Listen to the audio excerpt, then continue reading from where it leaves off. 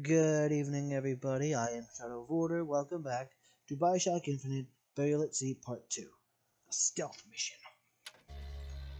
It's a stealth mission. Snake, this is a stealth mission. Did you ask to be brought into this world? If your parents expect anything from you, tell them to get it in writing.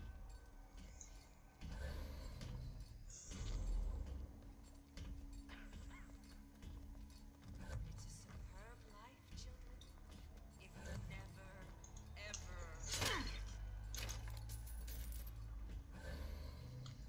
Yeah, it was all number sure. Got some high notes. But but I got I got something new in the works. So I greased a few palms here and there, time to time. What of it? I'd been told this town was friendly to the Enterprise. Don't know what to make of her. I know right where you are.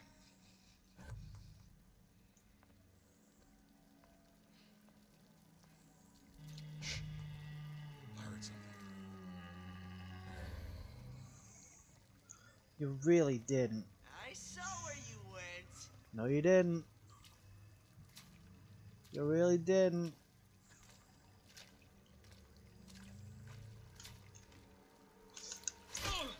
When can I see you again? Break's over. Back to the office. Jeez. Honey pie? You got a friend over?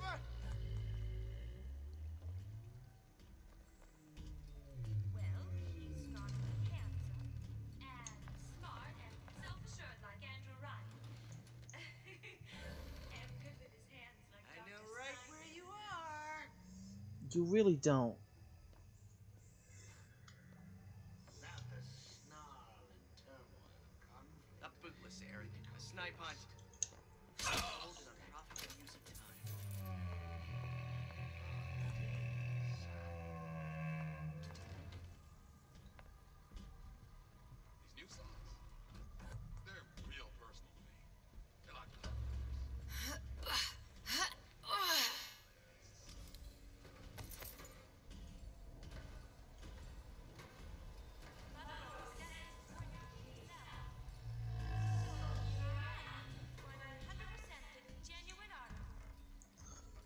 Do more people keep spawning or something?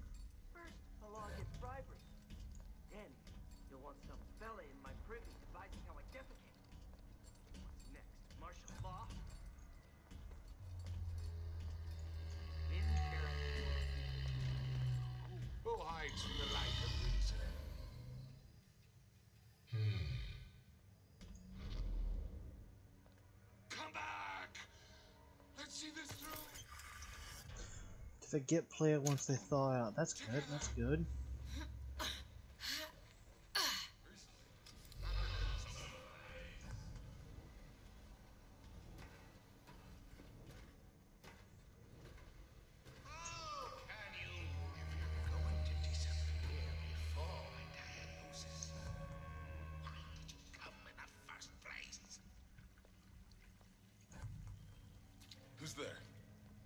No can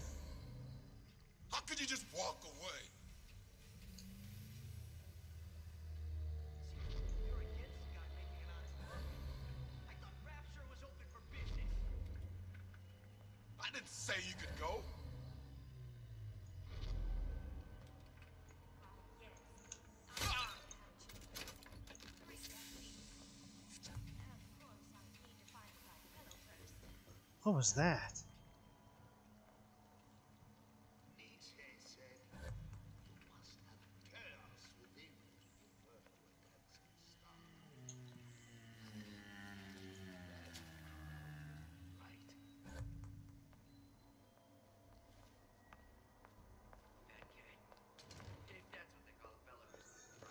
Alright, I want to go back in here, try and find that secret. then fine. Issue fits. You looked like, uh. Bottles. Hold on. No. Did any of these guys in here respawn? Doesn't look like it. Okay, the other one must be the one that's open. Here? Oh, I missed one. What's this? Oh. Just another one of his creepy things.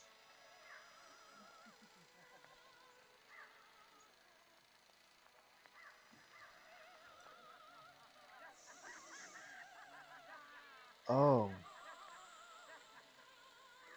Alright, that's different. I like that.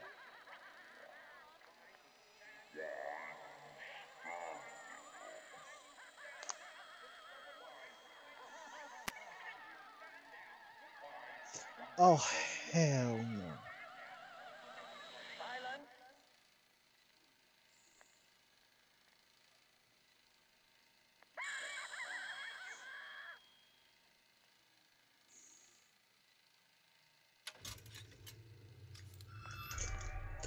Oh, oh, oh Sandy, you.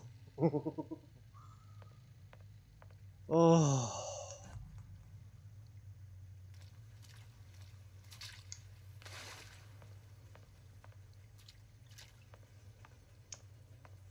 What a jerk. I love it. Is it something here? No, it must be something over here then. Something about three bottles. Huh.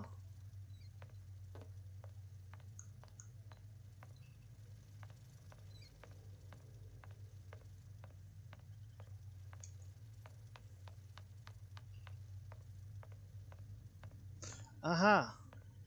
Those bottles. Just like on the coded note to Fontaine. Oh good, I didn't have to like memorize something weird. Oh, this is nice. Um, Fontaine and Atlas. Son of a bitch. oh yeah, yeah. You didn't know that.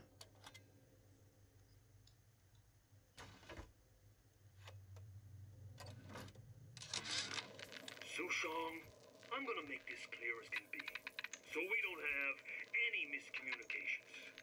Where the hell is the ace in the hole? You think you can stiff Frank Fontaine? I paid good money for state-of-the-art weaponry. I ain't losing this war just because you found yourself a higher bidder. I can promise you, I ain't never been one to lose with dignity. Right, that flashback is the death of Frank Fontaine in the first game. Yeah, he dies. Watching it through Jack's eyes?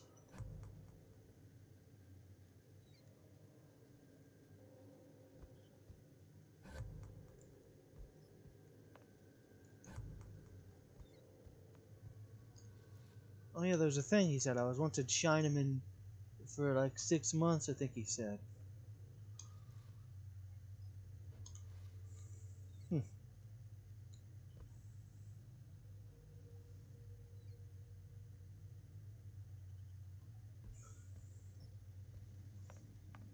He's good at disguises, I guess.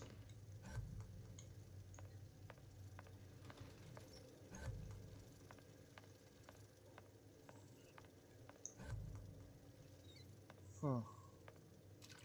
wonder where that other old man winter mod is. I know there's two. Oh, going the wrong way.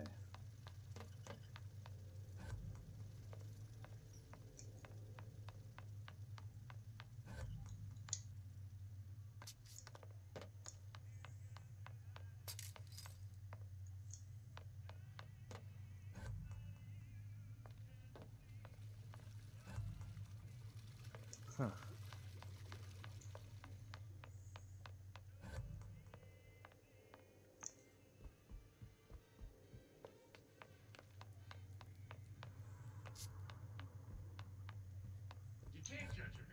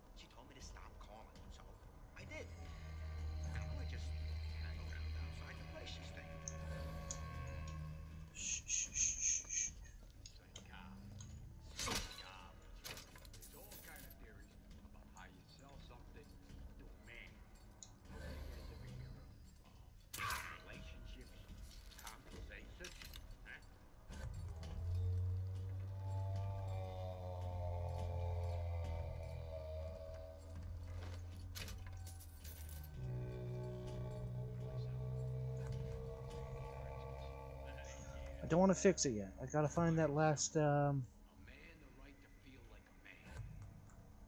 that last uh, thing.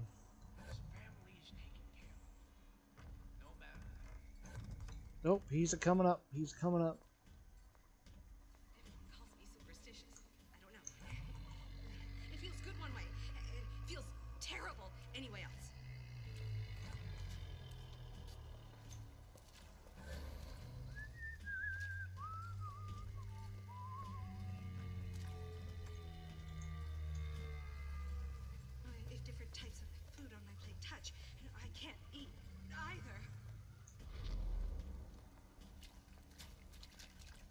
What's that now? Nothing. What if, what if they're just waiting for me?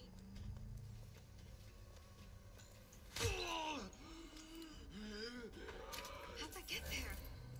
How can I keep it from happening to me?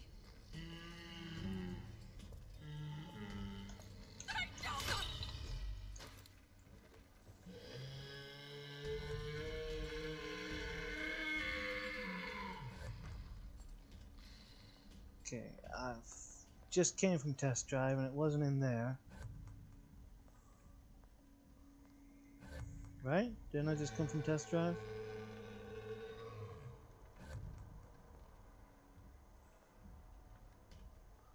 Went to medicine. Service bay? Was it just in the Manta Ray Lounge?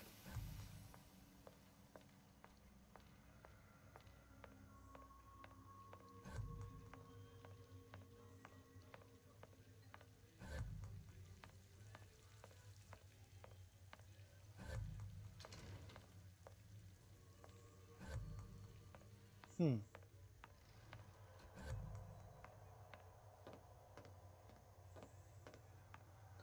Okay, you know what? Instead of running around, come on. Just gonna Google it.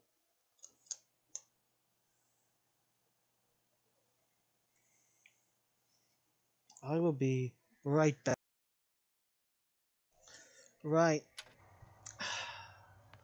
Now I feel silly. Turns out it's uh, actually in the room um, with the Lutece device. It's in the silver whatever. Uh, now I feel silly. I would have ran all over. Hold on. Big Daddy's over there. I don't.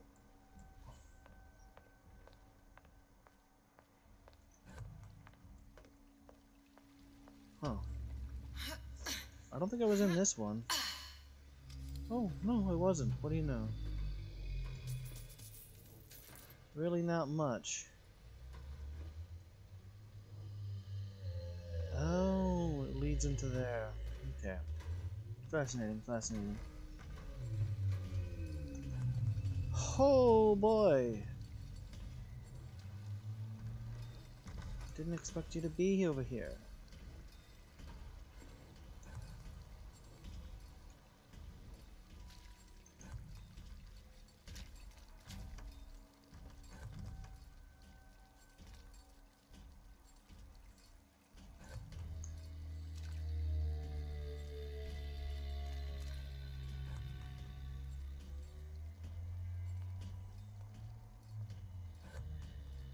Keep on walking, good big guy. Keep on walking.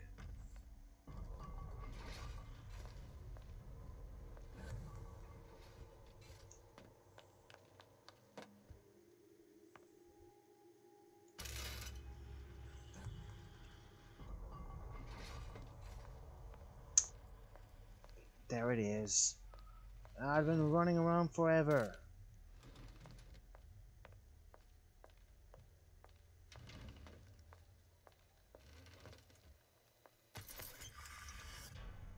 Okay, that one's good.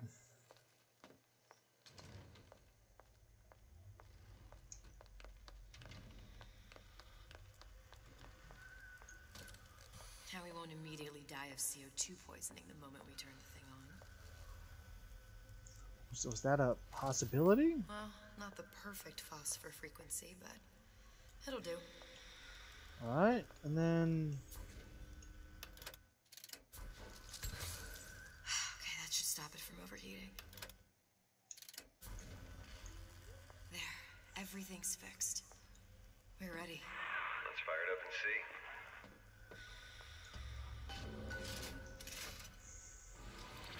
Little sesame. Tell you? Alright. Oh, alright. Cool. Columbia. Never thought I'd come back to Columbia, let alone to that exact moment.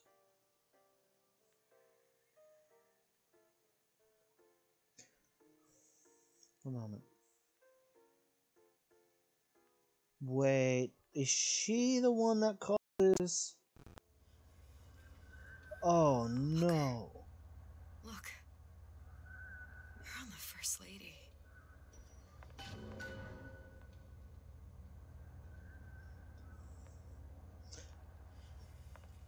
No, okay, never mind. I thought it was something else.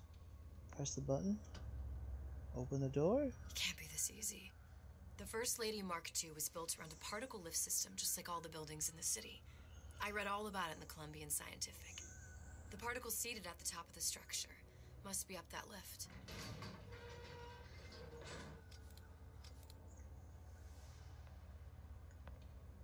Okay. If I look through, I can see none of Columbia. Supposed to be flying or what? Perfect. Seems like a lot of technology just to float an airship. Comstock never heard of hydrogen. The First Lady Mark I did run on hydrogen, and it was destroyed by a single bullet from a Vox sniper. Unfortunately, the Prophet wasn't on board at the time. Oh yeah, that that would have made a lot of that would have fixed a lot of future problems. Okay, so they clearly have the ability to ca- carry medkits. Why couldn't I have that in, in the main game? Obviously, it wasn't that hard. They put it into the DLC. Risk of death or serious injury. If I take the active particle, then the First Lady is just a 40 ton paperweight. Best to take the spare. The spare.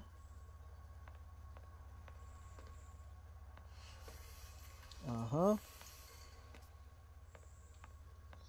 Right, and I I definitely. Taking one of those spares would be what we need to move on forward. Oh, there it is. Here we go. Now let's head back through that tear. You honestly expect Atlas to honor his side of the deal? No, but we'll cross that bridge when we come to it. How do you plan on handling Atlas? He ain't just some spliced up maniac. He'll make a mistake. I just have to be ready to take advantage of it when it happens. All for a girl you barely know. How well did you know me when you came to Columbia? Not at all, which is why he is a thousand times the person you will ever be. Hmm. Pretty lady not finished yet. What? Open the tear. Powerful device, uh, very expensive. Tit for that. Just tell me what you want. Suchong wanted something as simple. Lock of hair. Oh, you're not serious. Not your hair, stupid. Think a secret lab. Mothballed, forgotten. In there, hair sample. In jar. Cannot miss it. You get for Suchong. Then everybody friends. Where's his lab? Closed off, past Fink's quarters. Um, you smart lady, you find. it. What? Should have seen that one coming. Fink's lab? What lock of hair? I mean like one of Elizabeth's? Oh. Must have arrived right in the middle of the siege.